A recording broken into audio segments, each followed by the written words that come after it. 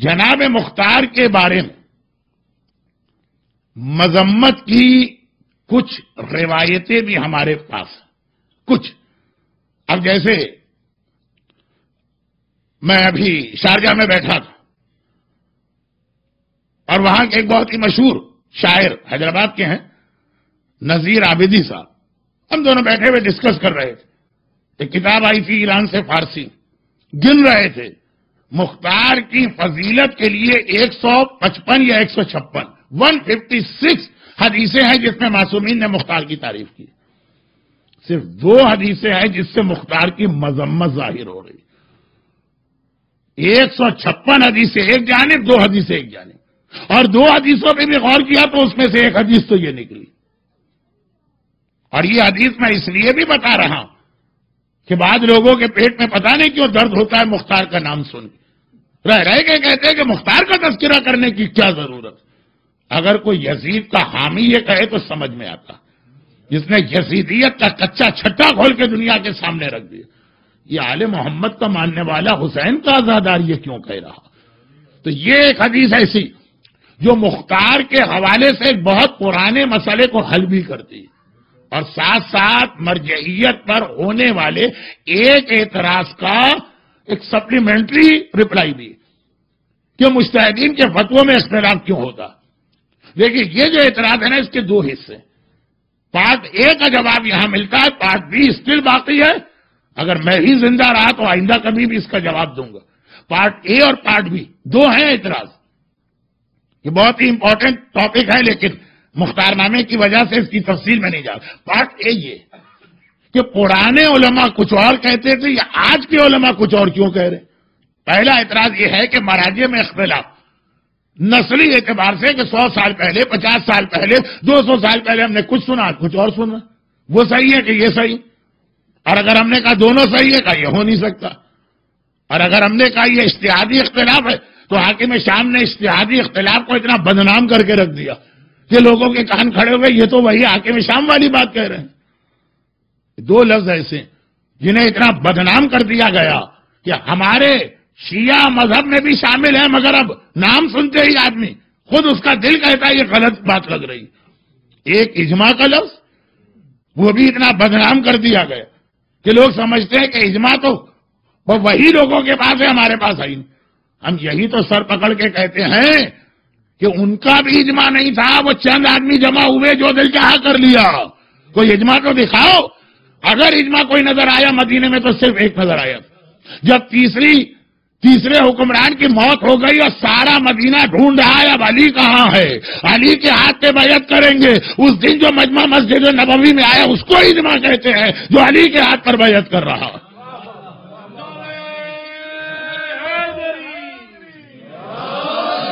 بدنام کیا دشمنانے والے بیت لفظ اجماع کو۔ اور ہم یہ سمجھے کہ لفظ ہی اتنا برا ہو گیا کہ جو حقیقی اجماع ہے وہ بھی غلط۔ بدنام کیا حاکم شام کے فیور کرنے والوں نے۔ کہ وہ اشتہادی اختلاف کا یہ لفظ ہی ہمیں برا لگنے لگا۔ اب مختار نامہ کہاں چلا گیا؟ میں خود حیران ہوں۔ تو اس بات کو سمیٹتا ہوں۔ انشاءاللہ زندہ رہا تو سارے موضوعات بعد میں آتے رہیں گے، لیکن ایک بات۔ پہلا اعتراض مہاراجے پہ یہ ہوتا۔ یہ زیادہ تر بزرگ لوگ کرتے ہیں۔ کہ جی ہم نے اپنے بچپنے میں تو کچھ اور سنا تھا، آج کچھ اور سن رہے یہ شریعت تو نہیں بدلے گی۔ پھر آخر کیوں مسئلہ بدل گئے اور یہ ہے پارٹ اے جس کا جواب، ایک جواب مختار نامہ کا ایک واقعہ۔ پارٹ بھی اپنی جگہ۔ وہ یہ ہے کہ نہیں، ایک ہی زمانے کے بھی دو مستحدین میں کیوں اختلاف؟ تو وہ انشاءاللہ ابھی وعدہ رہا میرا، آئندہ کا بھی۔ آئیے پارٹ اے میں اس اعتراض کا جواب دینے کے لیے یہ روایت نہیں پڑھ رہا ہوں۔ یہ تو ویسے ہی مختار نامے میں روایت آئی۔ اس میں میں نے دیکھا کہ سپلیمنٹری فائدہ یہ مل رہا روایت کیا۔ روایت یہ ہے کہ علامہ ہلی جیسا عظیم عالم، جن سے وہ روایت بھی نقل ہے، کہ جب ایک بار ان کی سمجھ میں نہیں آیا کہ زیارت حسین پہ نوے حجوں کا ثواب کیسے ملتا، یا یہ روایت کہ حسین پہ رونے سے جنت کیسے واجب ہوتی، کنفیوز تھے، زمانے کے امام نے آ کر راستے میں ان کو بتایا اور اس طرح سمجھایا کہ علامہ ہلی جیسا مرض پکار اٹھا، کہ ہاں اب میری سمجھ میں آ گیا، بہت مشہور واقعہ دورے کی مجلسوں میں وہ واقعہ اکثر پڑھا جاتا۔ وہ علامہ ہلی تاریخ تشیعوں کے ٹاپ ٹین میں سے ایک۔ وہ مختار کے بارے میں ایک جملہ لکھتے ہیں کہ مختار کی فضیلت کی بھی اتنی حدیثیں ہم نے دیکھی اور مختار کا کارنامہ بھی دیکھا۔ لیکن ایک حدیث ایسی مختار کی مذمت کی بھی آ گئی کہ اب میں توقف کرتا ہوں۔ یہ نہیں کہا مختار برے کہا کہ اب میں مختار کے بارے میں کوئی رائے نہیں دیتا ہوں۔ میں خود کنفیوز اور وہ حدیث ایسی حدیث تو نہیں تاریخ۔ کہ آپ بھی پڑھیں گے تو آپ کہیں گے کہ اگر یہ صحیح ہے تو تو مختار ٹھیک نہیں لگ رہے۔ اور یہ بات بالکل صحیح بات کیا اب میں تیسرا جملہ وہ ایک ہی سیکوینس کا کہہ دوں۔ میں نے ابھی تھوڑی دیر پہلے کہا وفات رسول خدا ابھی ابھی ہوئی۔ چار پانچ دن۔ میں نے کہا آٹھویں امام کی شہادت ابھی ابھی ہوئی۔ اب سنیے تیسرا جملہ۔ اور آقا حسن کی شہادت کی تاریخیں بھی ابھی گزری ہے یہ واقعہ یہ واقعہ آقا حسن کا۔ آج عجیب اتفاق ہو گیا کہ تینوں معصوم ہستیوں کا کسی نہ کسی حوالے سے ذکر مجلس میں آ گیا، وہ بھی موضوع کے اندر۔ آقا حسن سولو نامے پہ دستخط کے بعد جب ان کی فوج میں شامل وہ لوگ جو پانچ منٹ پہلے اپنے آپ کو حسن کا شیعہ کہہ رہے وہ تو یہی کہہ رہے تھے۔ سولو نامے میں دستخط میں یہ سب آقا حسن کے مخالف ہو گئے۔ ایسے ایسے بدتمیزی کے الفاظ استعمال کیے۔ اور ایسا ایسا ظلم کیا۔ ایک جملہ فوج یزید نے امام مظلوم کے بارے میں کہا تھا جو حبیب سے برداشت نہیں ہوا تھا۔ حبیب ابن مظاہر گئے تھے لشکر یزید سے یہ کہنے کہ ہم نماز پڑھنا چاہ رہے ہیں، تھوڑی دیر کے لیے اپنی جنگ روک۔ اور وہاں سے جواب ملا تھا، جا کے اپنے حسین سے کہہ دینا، ان کی نماز قبول کہاں ہے کہ ہم وہ نماز پڑھنے جا رہے ہیں؟ حبیب سے برداشت نہیں۔ کہا کہا اب یہ نماز آپ کے جھت کے پیچھے ہی پڑھوں گا جنت میں، یہ جملہ مجھ سے برداشت نہیں۔ اور ایسا حملہ کیا۔ اے دشمنان خدا، تمہاری نماز قبول؟ اور حسین کی نماز قبول نہیں؟ اس سے ملتا جملہ، ملتا جلتا جملہ بیس سال پہلے۔ سو کال شیو نے آقا حسن کے لیے کہا۔ وہ نہیں تھے شیعہ۔ لیکن اس وقت تک تو کہہ رہے تھے نا کہ وی آر شیعہ۔ دستخط ہوئے سولو نامے پہ دستخط کر کے امام حسن نماز پڑھنے خیمے میں آئے۔ یہ لوگ خیمے میں داخل ہوئے۔ امام نماز پڑھ رہے آواز دی۔ کہا، کیوں پڑھ رہے نماز؟ سولو نماز۔ اللہ کوئی تمہاری نماز قبول نہیں کرے گا۔ تم نے اسلام کی اور مسلمانوں کی ناک کٹوا دی۔ آقا نماز میں لگے رہے۔ تیر مارا۔ پاؤں میں کہ تیر کی وجہ سے نماز توڑ دے۔ ہے تو اس کا بیٹا نا، جس کو پتہ ہی نہیں چلے کہ تیر کب لگا۔ مگر پھر امام حسن کے نیچے سے مسلح کا سیٹ لیا کہ ہم کہہ رہے ہیں، اپنی نماز توڑو، تمہاری نماز کا فائدہ کیا؟ یہ لوگ۔ ابھی پانچ منٹ پہلے امام مان رہے اب کہہ رہے نماز کا فائدہ کیا؟ ان حالات میں۔ آقا حسن زخمی، مولا حسن زخمی، پاؤں میں تیر۔ اور کوئی اب بھروسہ نہیں کون وفادار ہے اور کون بے وفا۔ مدائن کا گورنر، کل یہ جملہ آ گیا تھا، مختار کا چچا تھا۔ مختار کے والد شہید ہوئے تھے اس جنگ میں، تو ان کے چھوٹے بھائی کو گورنر ہی ملی۔ تھی امام حسن مدائن کے گورنر کے محل میں چلے گا کہا، یہ محفوظ جگہ، یہاں پہ میں ان تمام چیزوں سے اپنے آپ کو بچا رہا ہوں۔ اب یہ روایت علامہ ہلی لکھ رہے ہیں، اور صحیح روایت۔ مگر صحیح روایت کیسے بدلتی ہے، یہ بھی سنیے گا۔ مختار اپنے چچا کے پاس ہے۔ کہا، چچا، گولڈن اپرچونٹی ہم کو ملی۔ امام حسن سب کو چھوڑ کے آپ کے محل میں اکیلے آ کے بیٹھ گئے۔ کہہ بھی دیا تھا مختار کے چچا سے، اب کسی پہ بھروسہ نہیں، کسی کو نہ آنے دینا۔ چچا، اگر ہم اس وقت حسن کو گرفتار کر لیں اور حاکم شام کے ہاتھ میں بیچ دیں، تو کتنا بڑا انعام حاکم شام ہم کو دے گا، جو معمولی معمولی لوگوں کو اشرفیاں دے رہا۔ کل ہی جملہ تھا نا، ایک طرف تلوار ہوتی تھی، ایک طرف اشرفی۔ حسن جیسا سردار ہم گرفتار کر کے دے دے حاکم شام کو لاکھوں پائیں گے، کروڑوں۔ بہترین موقع آپ کے پاس ہے۔ حسن اکیلے ہیں، آپ گورنر، آپ کا محل بڑا ہے سپاہیوں سے۔ مختار کے چچا نے مختار کے چہرے پہ تھوکا کہا، مجھے شرم آتی ہے، تو میرے بڑے بھائی کا بیٹا۔ اگر میرا تج سے رشتہ نہ ہوتا تو یہاں سے زندہ سلامت نہ جاتا، نکل جا میرے محل سے۔ آئندہ کبھی اپنی شکل نہ دیکھا۔ اور مختار اتنی توہین اور بے عزتی کے بعد چچا نے چہرے پہ تھوکا دھکے دے کے محل سے نکالا، باہر نکلے علامہ ہلی نے کہا، یہ روایت کتاب میں اور کتاب میں تو سب کچھ ہوتا۔ خالی اس سے کام نہیں چلے گا کہ کتاب میں کس کی روایت ہے؟ راوی کیسا ہے؟ کتاب کس کی ہے؟ کتاب کیسی؟ وہ رسول خدا کے بارے میں ایسی کتاب بھی جس نے لکھ دی کہ نام لیتے ہوئے شرم آتی۔ وہ بھی تو کتابوں ہی سے روایت جمع کی ہے نا۔ تو خالی کتاب بھی کافی نہیں ہوتی ہے۔ علامہ ہلی نے کہا، نہیں، کتاب میں روایت ہے بڑی معتبر روایت۔ اب اس کے بعد کیا کہیں؟ جو امام کو گرفتار کر کے حاکم شام کے ہاتھ میں بیچنے کو تیار ہو جائے، وہ مختار کو ہم ٹھیک کیسے کہیں گے؟ اور تاریخ میں کہیں نہیں ہے کہ انہوں نے توبہ کی ہو اپنے اس عمل چنانچہ، ایک طرف ڈیڑھ، ایک سو چھپن حدیثیں تعریف کر رہی ہیں۔ مگر یہ بھی اتنی اسٹرانگ حدیث، اب میں خاموش روایت تو ہم بھی سنے آپ بھی سنے تو چکرا جائے۔ علامہ ہلی کے دو سو سال کے بعد یا ڈھائی سو سال۔ قاضی نور اللہ شوستری جیسی عظیم شخصیت آئی جو شہید سالس کے نام سے بر صغیر ہندو پاک میں مشہور۔ آگرہ میں آج بھی ان کا روزہ مر جائے خلائق۔ شہید سالس کے نام ہندوستان اور پاکستان کے مومنین کہتے ہیں۔ تھوڑا سا ٹرمینالوجی کا اختلاف ہے۔ عراق میں شہید سالس ایران میں کسی اور کو کہا۔ لیکن مہارا شہید سالس بڑی عظیم شخصیت، قاضی نور اللہ شوستری وہ جب ڈھائی سو سال کے بعد آئے، انہوں نے کتاب لکھی ہے مجالس المومنین، جس میں اصحاب امام کے حالات، اس میں مختار کے بارے میں لکھتے ہیں۔ کہ یہ روایت جو علامہ ہلی کو ملی، یہ صحیح مگر آدھی کہہ رہے اب مجھے پوری روایت ملی، وہ میں لکھ رہا ہوں، پھر آپ فیصلہ خود کریں۔ اچھا اب سوال یہ یہ تاریخ ہے ہماری جو لوگوں کو پتہ ہی نہیں۔ مختار نامہ جیسا دلچسپ موضوع بھی لوگوں کو خشک لگنے لگتا۔ تو جو تاریخ واقعان خشک ہے لیکن بہت اہم۔ اب سوال یہ ہے کہ علامہ ہلی کو روایت نہیں ملی۔ اور ملی بھی تو کس کو ملی؟ شہید سالس کو ملی۔ یہ کیسے ہوا؟ ہاں یہی تو صحیح ہوا۔ اگر علامہ ہلی کے بعد عراق و ایران ہی کے کسی عالم کو روایت ملتی، تو ذرا سا شک رہتا۔ روایت اس عالم کو ملی جو ہندوستان میں آیا۔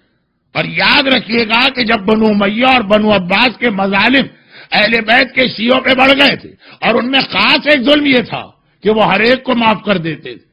جس کے پاس امام کی کوئی حدیث یا کتاب ہو، اس کو تو وہ قطعا معاف نہیں کرتے تھے۔ تو کتنے سید، کتنے اصحاب امام، علوم امامت کو بچانے کے لیے جتنی جیسی کتابیں ان کے پاس ہے ان کو لے کے بھاگے اور ہندوستان ہی میں ان کو بنا ملی عراق، ایران تو پورا اس وقت بنو میاں کے کنٹرول میں، بنو آباد کے کنٹرول میں۔ تو جو حدیثیں ہندوستان میں آ گئیں، جو کتابیں ہندوستان میں آ گئیں، وہ نہ عراق میں رہی نہ ایران میں مل سکی ہیں، نہ مصر میں مل سکی ہیں۔ حیدرآباد رتن کے اندر بھی کتنا بڑا ذخیرہ۔ علامہ امینی عرب دنیا کے سب سے مشہور عالم۔ القدیر کتاب لکھی تو حیدرآباد میں آ کے ان کو چھ مہینے قیام کرنا پڑا۔ اسی طرح لکھنؤ کا کتب خانہ ناصریہ۔ برٹش میوزیم کے راج ٹپکی تھی۔ ایسی نایاب کتابیں۔ تو قاضی نور اللہ شوستری غالباً اگر نیشا پور میں یا ایران میں ہی رہتے تو کتاب ان کو وہاں نہیں ملتی۔ یہ ملی ان کو اس لیے کہ وہ ہندوستان آ گئے۔ چنانچہ کہتے ہیں پوری روایت سامنے آئی اب پڑھیے۔ اب دیکھیے روایت۔ یہ کہہ کے روایت نقل کر رہے کہ علامہ ہلی والی بات بھی صحیح ہے، لیکن آدھی ہے۔ پوری روایت اب۔ جیسے اگر قرآن کریم کی آیتیں لکھی ہوں اور کچھ ورق ہو، اگلا ورق کوئی پھاڑ دے۔ اور ورق جہاں تک ہے بیچ وہاں تک آیت کی آئیے والا تقرب السلاد نماز کے قریب نہ جانا۔ نیکسٹ پیج پہ تھا، وہاں تم سکارا، نشے کے عالم میں وہ کوئی کسی نے پھاڑ دیا۔ تو ہم تو یہی دیکھیں گے کہ قرآن کی آیت ہے، نماز کے قریب نہ جانا۔ ہمیں کیا پتا کسی نے نشے میں آ کے نشے والا سبھا پھاڑ دیا۔ وہ بعد میں کہیں اور ملے گا تو پتہ چلے گا پورا پیغام کچھ اور۔ اب سنیے بہت مختصر۔ روایت یہ ہے جو علامہ ہلی کو ملی وہ پیج کی روایت ملی، اس سے پہلے کا پیج۔ وہ کتاب ہندوستان میں آئی۔ وہاں عراق، ایران کے مظالم سے اس کو بچانے کے لیے ہمارے ہندوستانی اور پاکستانی علماء کے خدمات جو ذخیرہ علم کا ہمارے پاس ہے۔ عراق اور ایران کے دیانتدار مراجے تک اس کی عظمت کو مانتے ہیں۔ لیکن تھوڑا سا ہم خود غافل ہو گئے۔ اب اقات الانوار جیسی کتاب جو لکھنؤ میں لکھی گئی اب ایران کے عہدہ علمیہ کم سے چھپ رہی ہے، لیکن ہندوستان میں کوئی چھپنے والا نہیں رہا۔ میں کہیں اور جا رہا ہوں، مختار نامہ۔ روایت یہ ہے کہ جب امام حسن اپنے سو کالڈ حامیوں کے ہاتھوں تیر کھایا، مسلح سے دھکا دیا گیا، توہین کی گئی، وہ الفاظ تو میں نے پڑھے ہی نہیں۔ مجھ میں تو بہرحال اتنی ہمت نہیں ہے۔ کہ ممبر سے آقا حسن کی شان میں گستاخی والے الفاظ پڑھوں تو اب وہ مدائن کے گورنر کے محل میں چلے گئے، ایک وہی ایسا شیعہ نظر آ رہا تھا کہ ذرا طاقت رکھتا تھا، گورنر تھا۔ مختار بہت پریشان ہوئے۔ اب یہاں سے روایت وہ چل رہی ہے جو علامہ علی کو جو صفحہ نہیں ملا۔ مختار بہت پریشان ہوئے کہ میں نے اپنی آنکھوں سے دیکھا ہے کیا اردو کا ایک شعر ہے کہ محاورہ ہے، بڑا سلیم قسم کا۔ ایسے ویسے ویسے ویسے ہو گئے، کیسے کیسے کیسے کیسے ہو گئے، پتہ نہیں کیا ہے۔ تو خلاصہ یہ کہ مختار بہت پریشان۔ ایسے ایسے لوگوں کو میں نے چینج ہوتے دیکھا۔ حاکم شام کے۔ خزانے سے جو اشرفیہ اور سونے کا ایک سمندر بہ رہا۔ اچھے اچھے لوگوں نے اپنا ایمان بیچ دیا۔ میرا چچا تو ایسی پوسٹ پر۔ کہ حاکم شام نے تو سب سے پہلے اس کو خریدنا چاہا ہوگا۔ مولا علی کا گورنر زیاد بکا کے نہیں بکا؟ مولا علی کا گورنر تھا۔ مولا نے اسے اپوائنٹ کیا تھا، تم بسرے کے گورنر زیاد۔ حاکم شام نے ایسے چکر چلائے۔ اور ایسا کچھ اس کو الو بنایا کہ وہ علی کا سب سے بڑا شیعہ، علی کے سب سے اگینسٹ ہو گئے۔ اسی کا بیٹا ابن زیاد، اس کے بعد کی بات کر رہا ہوں، زیاد۔ نجل بلاغا میں جا کے دیکھیے، اب تک زیاد کے نام مولا علی کے خط ہیں۔ میرا گورنر ہے، خط بھیج رہے ہیں۔ ایسا خرید لیا گیا۔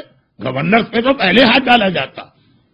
اور زیاد کے بک جانے کی وجہ سے۔ شیوں کے لیے وہ ایک بہت بڑا مسئلہ ہوا تھا۔ کل میں نے کہا تھا نا کہ ساتویں امام نے حکم دیا، ہارون ظاہر میں تقیہ کرو۔ زیاد کے زمانے میں تقیہ بھی نہیں کر سکتے۔ وہ تو ایک ایک کو جانتا۔ کل تک ہماری مجلسوں میں آتا تھا۔ کل تک ہمارے ساتھ بیٹھ کے نعرہ حیدری لگاتا تھا۔ کل تک ہمارے سامنے مودت اہل بیت کا مظاہرہ کرتا تھا۔ وہ ایک ایک کو جانتا ہے۔ کہ کئی تقیہ کرے، وہ کہتا اچھا مجھے دھوکہ دے رہے ہو۔ مجھے بتا ہے کہ تم علی والے ہو۔ زیاد کے مظالم بے مثل ہیں۔ مختار، زیاد کو دیکھ رہے کہا، جب زیاد جیسا آدمی بک گیا، تو اگر میرا چچا بھی آ میں شام کے ہاتھوں بک گیا، تو کتنا خطرہ ہے میرے آقا اور مولا امام حسن کے لیے، وہ اسی کے محل میں بیٹھے۔ ضرور حاکم شام نے خط بھی لکھا ہوگا، پیسے کی جھلک بھی دکھائی ہوگی۔ جیسے آج بھی آپ کسی عراقی سے ملیے اور صدام کے زمانے کا پوچھئے، وہ ایک ہی جواب دے۔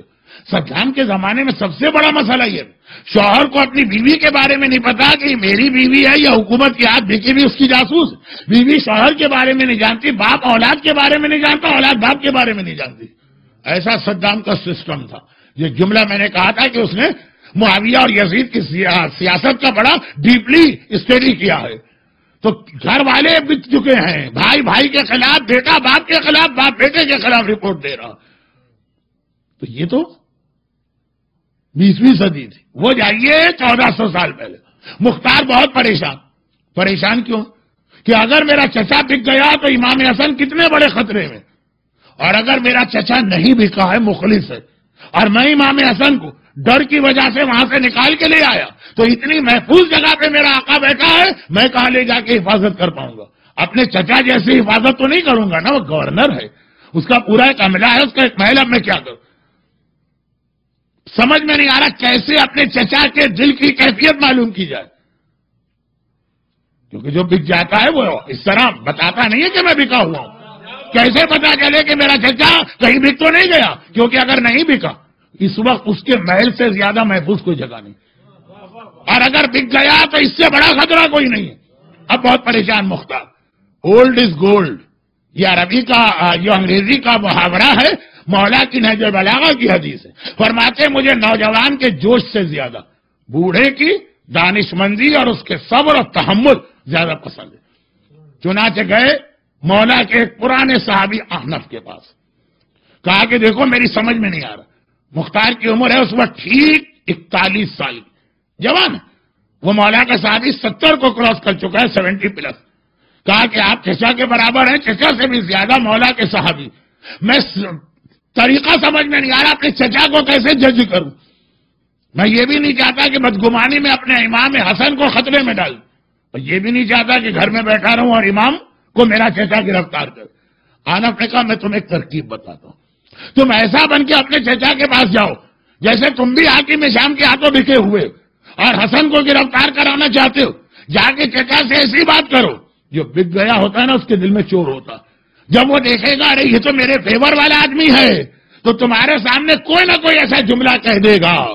چنانچہ مولا علی کے بزرگ صحابی نے مختار کو طریقہ سکھایا۔ مختار وہی باتیں لے کے گئے کہ چچا بہترین موقع ہے۔ حسن ہمارے ہاتھ میں ہے۔ گرفتار کر کے حاکم شام کو بیچیے۔ لیکن جب جب چچا نے چہرے پہ تھوکا، جب چچا نے دھکے دے کے نکالا، باہر نکل کے سجدہ شکر انجام دیا، چچا کے طریقے سے پتا چلا کہ وہ آقا حسن کا پکا اور مخلص ماننے والا ہے۔ یہ ایک روایت۔ علامہ ہلی تک آدھی پہنچی۔ تو مختار سے برا کوئی آدمی نظر نہیں آ رہا۔ شہید سالس کے بعد پوری روایت پہنچی۔ تو مختار سے بہتر اس وقت کوئی آدمی نظر نہیں آ رہا یہی مسئلہ۔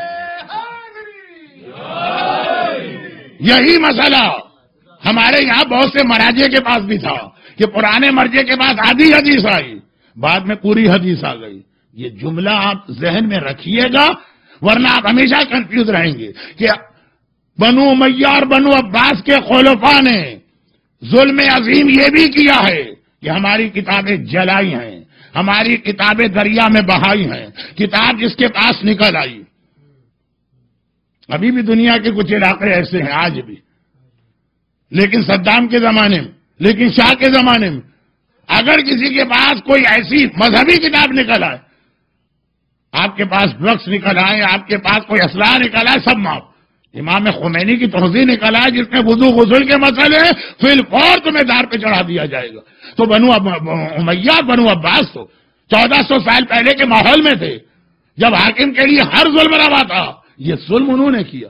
لوگ بدلہ اپنے علماء سے لیتے ظلم انہوں نے کیا؟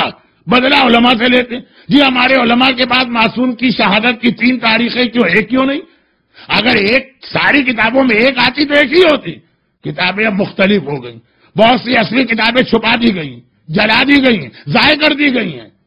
اور اس کو بچانے کے لیے جن لوگوں نے کتاب لے کے بھاگے، وہ بھی اسے نمایاں نہ کر سکے۔ گھر میں چھپا کے رکھا، بیٹے کو نہیں بتا رہے ہیں۔ کتاب مکس اپ ہو گئی۔ آپ کو تو پتا ہے نا، عموماً کتاب جن کی گھر ہوتی، ان کی اولاد بڑی نالائق ہوتی ہے، عموماً۔ میں نے ردی والے کے ایسی قیمتی قیمتی کتابیں بکتی دیکھی ہیں۔ کہاں سے آئی کہا وہ باپ کر گیا، بیٹوں نے کہا یہ فضول کچرا نکالو جا کے ردی والے کو بھیج ہمارے یہاں کراچی کا طریقہ ہے کہ کتابیں بیچو ردی والے کے بعد گجک کھا لو۔ اب پتہ نہیں حیدرآباد کے لوگ سمجھیں کہ نہ سمجھیں۔ اتنی قیمتی قیمتی کتابیں میں کہ سر پکڑ کے بیٹھ گیا۔ نالائق ہوتے ہیں، عموماً ایسے بیٹے۔ وہ بھیج دیتے ہیں۔ اس میں کتنی کتابیں کہاں سے کہا گئے تو یہ اس میں علماء کا کیا قصور؟ کہ کون سی امام خمینی آ گئے کوئی آ گئے سیستانی نے یہ کتابیں؟ ضائع کی ہیں یا پھینکی ہیں یا ادھر سے ادھر کی ہیں؟ بلکہ شاید آپ کی معلومات میں نہ ہو۔ نائنٹی ون کا جو اپرائزنگ ہوا تھا، اور آگا کوئی کے گھر پہ جو نائنٹی ٹو میں اٹیک ہوا تھا، اسی وقت یمن سے آدی سے امام کا ایک بہترین ذخیرہ ملا تھا جو آگاہ خوئی نے پوری قیمت دے کے خریدا تھا، گھر میں رکھا ہوا تھا۔ ظاہری اعتبار سے جو بھی ظلم ہوا، وہ کتاب ضائع ہو گئی۔ جو چودہ، بارہ سو سال کے بعد ملی تھی۔ کتاب کا نام ہے مدینت العلم۔ شیخ صدوق کی بہترین کتاب ہے ناپید دنیا سے۔ ایک نسخہ ملا۔ بہانہ کچھ کر کے ان کے گھر پہ اٹیک ہوا اور جو ظلم ہوئے تو ہوئے، یہ ایک کاپی جو دنیا میں تھی، یہ بھی ضائع ہو گئی۔ تو مختار کے ذکر کے درمیان یہ بات آ گئی۔ رحمتك يا ارحم الراحمين وصلى الله على محمد وآله الطاهرين